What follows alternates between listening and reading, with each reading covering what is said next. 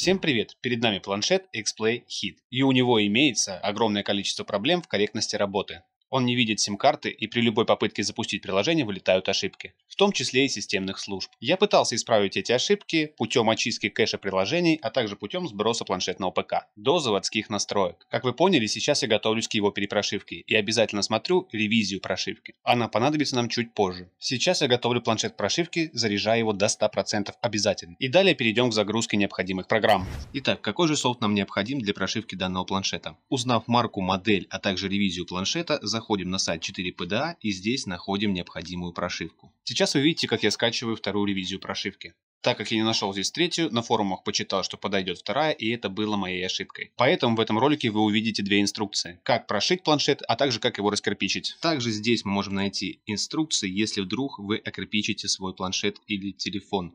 Далее нам понадобится программа SP Flash Tool. Все ссылочки на файлы будут в описании. Скачиваем данную программу. Также на 4PDA не нашел драйверов для планшета, но они есть в свободном доступе в интернете. Уже чуть позже, когда я кирпичил планшет и искал способ его восстановления, я как раз наткнулся на третью ревизию прошивки. Вместе со всем комплектом программ и драйверов. Теперь у меня есть все. Следующим шагом выключаем планшет. Если он по каким-то причинам не выключается на кнопку, то здесь есть кнопочка Recovery. Такое отверстие, иголкой зажимаем, и он выключается без проблем берем USB шнур, не простой USB шнур для зарядки, а с USB интерфейсом, для того, чтобы планшет подключался к компьютеру.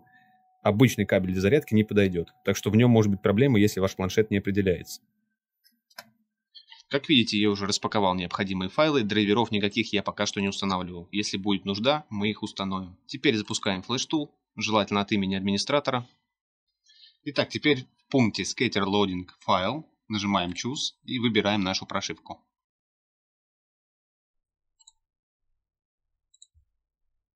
После загрузки прошивки нажимаем кнопочку Download и переходим к подключению планшета.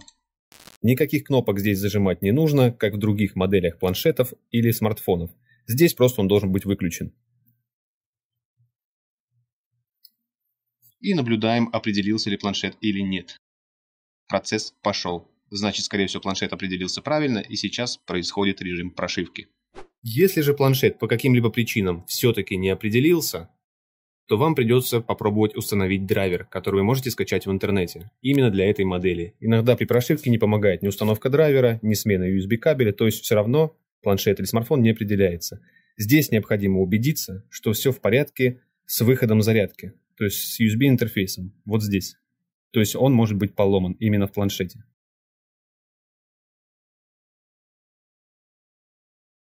Как видите, прошивка была завершена успешно, теперь проверяем планшет получилось ли у нас или нет. Как помните, первый раз я загрузил не ту прошивку и закирпичил планшет. Поэтому сейчас будет восстановление прошивки, а затем полный результат моей работы. Итак, переходим в выживление кирпича.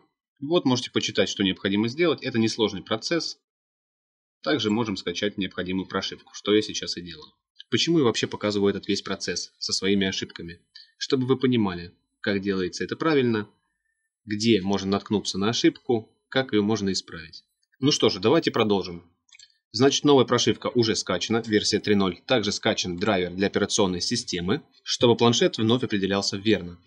Для начала установим драйвер, выбираем версию операционной системы, то есть ее разрядность, и устанавливаем.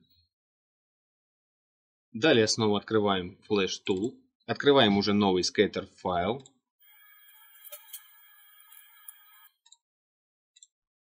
Кстати, если здесь файл будет не открываться, то вам нужно проверить следующее находим файл skater, открываем с помощью блокнота, находим здесь пункт is download, и здесь у вас, возможно, стоит false. Ставим true и сохраняем. Первое, что мы попробуем, здесь оставим download only, то есть ничего здесь не меняем. Это первое, что мы попробуем. Нажимаем download.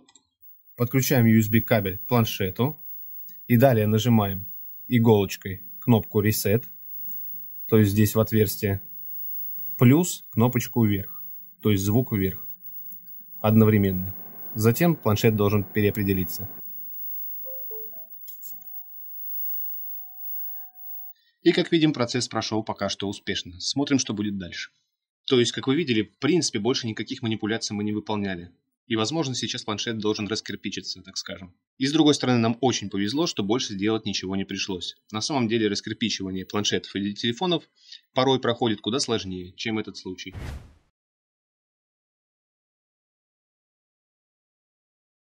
Ну что же, операция завершена успешно, давайте смотреть, что у нас теперь с планшетом.